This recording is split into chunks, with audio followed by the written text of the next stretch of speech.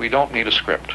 Well, that's the theme that, for example, that art in any form, musical or pictorial, anticipates the technologies of the next 30, 40, 50 years. The artist is always a generation ahead of the technologies. Now, his perceptions are just that much faster, but there is a more important point there.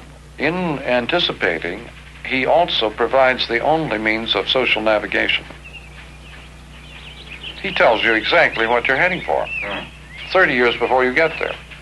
So if you want social navigation, if you want to avoid sandbars, that's how to do it. You know, all this uh, genius stuff and so on is uh, rather uh, useless uh, categorizing. Uh, there are people who just uh, happen to notice what's going on around them. Why the hell call them geniuses? They're awake.